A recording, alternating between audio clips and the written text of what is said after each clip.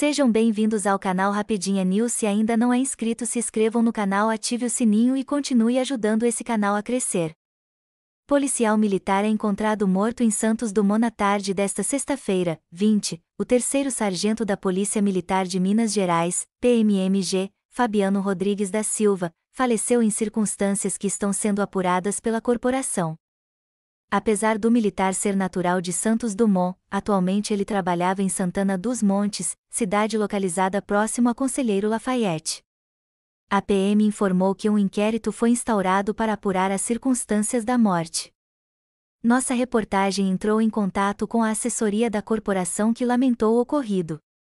Neste momento, a PMMG manifesta profundo pesar pela perda do militar e se solidariza com a família. Uma nota de pesar será enviada assim que forem definidos local e horário do enterro.